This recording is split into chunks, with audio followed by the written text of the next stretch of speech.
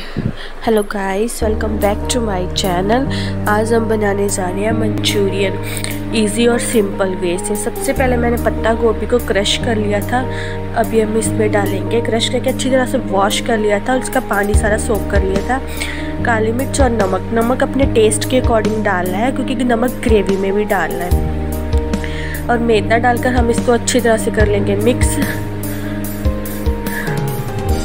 और हम फिर इसमें बनाएँगे इसकी बॉल्स बॉल आप बड़ी छोटी अपने अकॉर्डिंग बना सकते हो, जैसे आपको इसकी शेप पसंद लगे।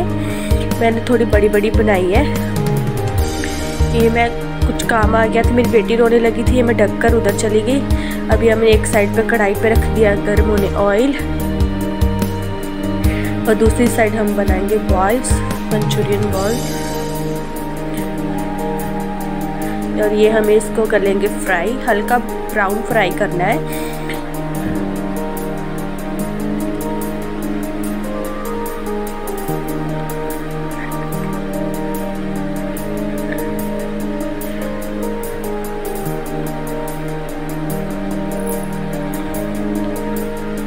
ये हल्के हल्के हाथ से धीरे धीरे इसको पलटाना है कि ये टूटे ना।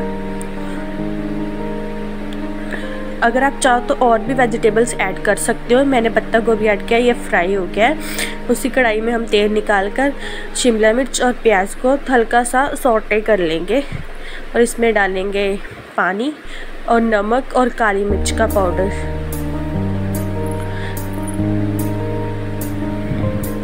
पानी डाल लेंगे।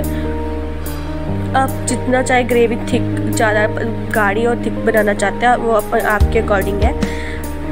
ये सूप का सूप है, कोई भी फ्लेवर का आप सूप लेकर उसको हमने मैदा नहीं डाला, सूप डाला। सूप सूप से थोड़ी थिकनेस आएगी।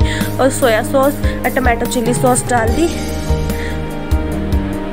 नमक हमने कम डाला क्योंकि हमने नमक अपने बॉल्स में भी डाला था मंचूरियन।